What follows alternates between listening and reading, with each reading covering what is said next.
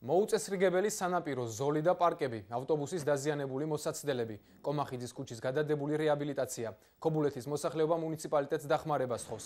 გამგეობაში ამბობენ, რომ ამ ეტაპზე დაზიანებული მოსაცდელების აღრიცხვა მიმდინარეობს. ბიუჯეტში ცვლილების შეტანის შემდეგ კი აღნიშნული მოსაცდელების რეაბილიტაცია დაიწყება. გამგებლის მოადგილის განცხადებით სანაპიროს გასწვრივ მდებარე მწვანე ზოლი გასხვისებულია და მისი მოვალაპატრონობა მუნიციპალიტეტს არ ევალება. რაც შეეხება კომახიძის ქუჩას, რატი მეგრელიძე ამბობს, რომ ქუჩის სრული კეთილმოწყობა მუშაობა ტურისტული სეზონის დაწყებამდე მოხდება.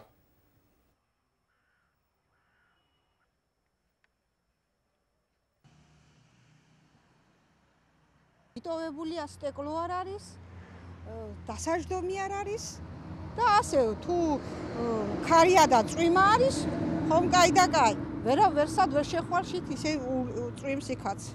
ტერიტორიის დასუფთავება ვასუფთავებთ მეგაცოლია, ჩემ მოპირდაპირეთ ვასუფთავებთ ჩვენ. ბაღი თვითონ არ სუფთავდება.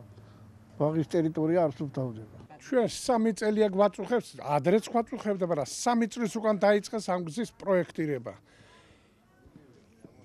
როგორც იქნა შარშან დაიწყეს, ისევ გადაითხარა დაანგრიეს ქუჩა. ერთ დროს გამოჩნდა მშენებლები, მაგრამ მიატოვებენ მოვაც ამ თარი მოვიდა. საშინელი მდგომარეობა ეხლაც ნახეთ რა მდგომარეობა ქუჩაზე.